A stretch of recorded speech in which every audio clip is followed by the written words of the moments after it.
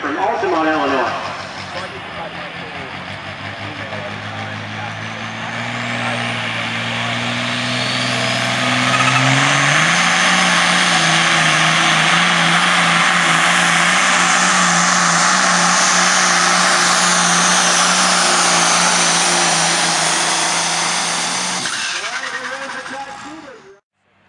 Not George Jones, but it is the top of of his tractor.